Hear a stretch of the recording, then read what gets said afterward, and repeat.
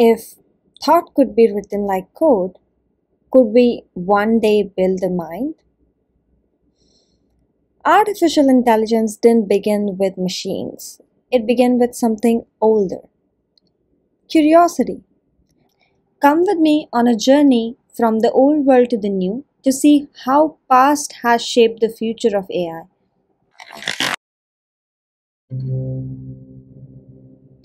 In ancient Greece, Aristotle observed how thoughts connect. He saw patterns in our logic. Let's jump to 1600s where Rene Descartes walks in and says, I think, therefore I am. He imagined the body as machine and the mind a kind of elegant clockwork. Then came Leibniz, a man ahead of his time. He didn't just think about thought, he imagined a machine that could solve arguments using math. And just like that, the seed of artificial intelligence was planted.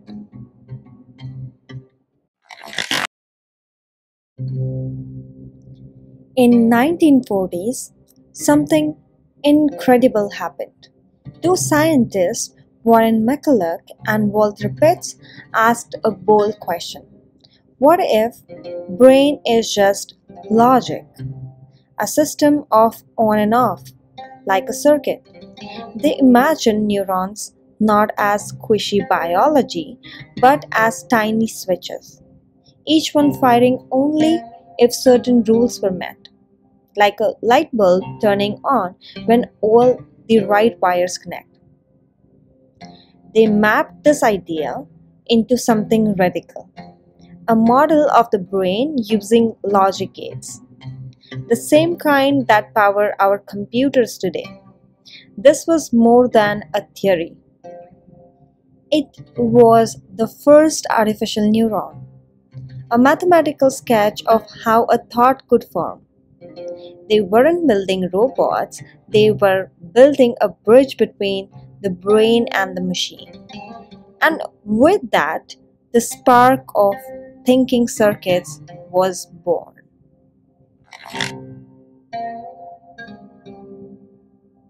In the 1950s, the world was just beginning to understand the power of machines. And then came a man who saw even further. Alan Turing. He was asking a deeper question Can machines think? Turing published a paper titled Computing Machinery and Intelligence to explore his own question. He described a thought experiment and he called it the imitation game. A person, a machine, and a conversation. If the human couldn't tell which was which, then maybe, just maybe, the machine was thinking. Today we know it as the Turing test, a milestone in the history of artificial intelligence. And just like that, the boundaries between humans and machines begin to blur. Let's go back to 1956 a summer gathering at Dartmouth College. The people in the room, you might recognize a few of them John McCarthy, Marvin Minsky, Allen Newell, and Herbert Simon. They rolled up their sleeves and started coding. Programs that could solve math problems, play a game of checkers, even prove logic puzzles. That summer, that's where it all started. That's when AI took its first real birth.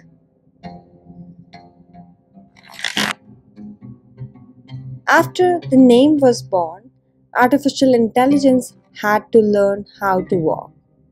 At first, machines just followed instructions, rule by rule, step by step. Everything had to be spelled out line by line. But in 1959, Arthur Samuel, a researcher at IBM, created a program that could play checkers. Not just play, but learn. It played against itself. It remembered what worked, and over time it got better. Not because someone told it how, but because it figured it out. In 1960s, a program called ELIZA came along. It was designed to simulate a therapist. It didn't understand anything, but it could respond.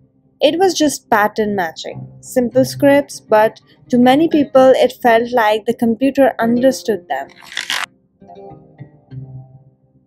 Things slowed down.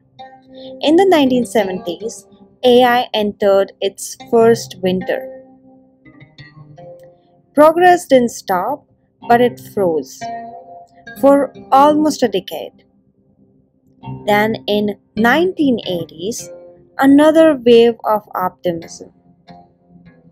Expert systems, machines that could think like doctors, lawyers, engineers. They made decisions, they followed rules, they woved investors. But again, limitations surfaced. They were brittle, hard to update, expensive to maintain. By the late 80s, the second winter had begun. People started asking, is this all AI can do? But even in the cold, a few kept going. Quietly, patiently, because they believed winter was just a pause, not the end.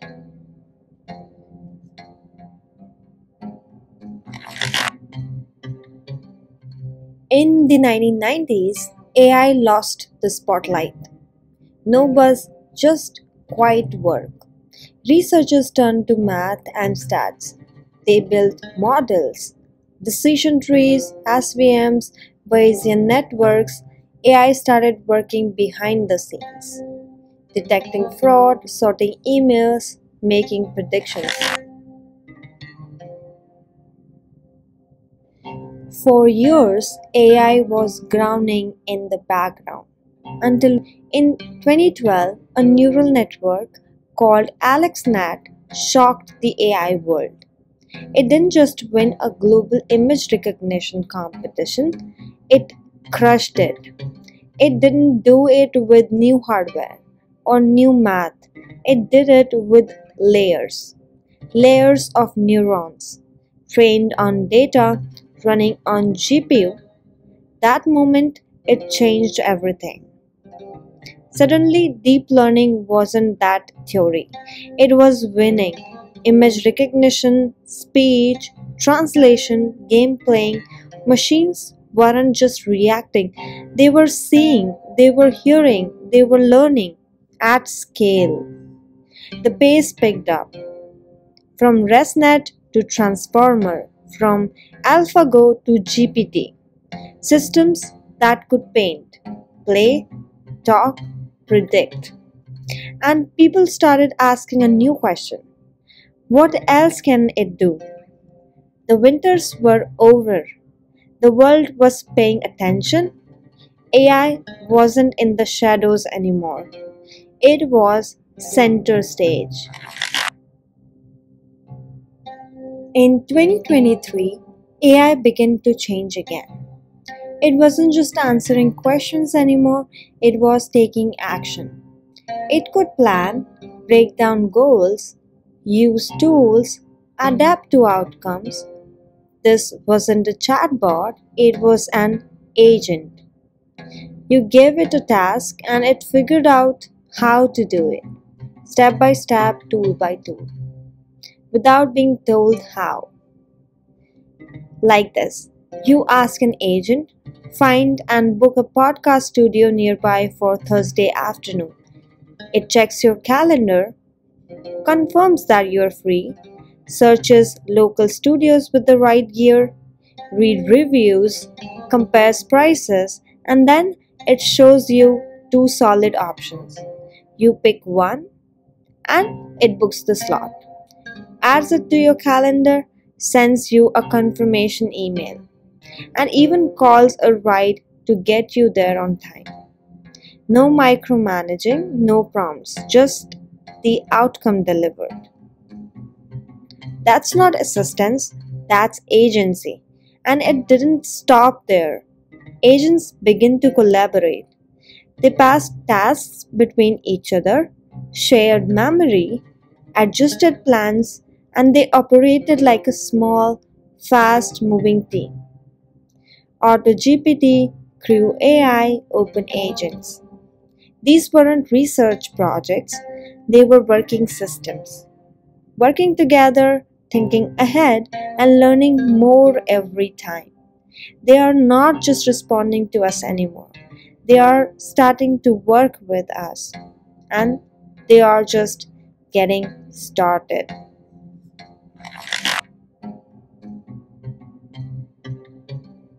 We begin with the question Can machines think? And across decades, we watched answers evolve from logic and language to neurons and networks, from rules to learning to action to agency. We've seen AI rise, fall, adapt, and rise again. And today, as we stand here on the edge of something new, a different question emerges Where is it all going next? How far will intelligence go? What new forms will it take? And what role will you play in shaping it? Because the history of AI isn't finished, it's still being written. Where do you see it going? With this question, let's end this episode here. If you found the story meaningful, give it a like, leave a comment with your thoughts, and share it with someone who's curious about AI too. Thanks for watching. Stay tuned.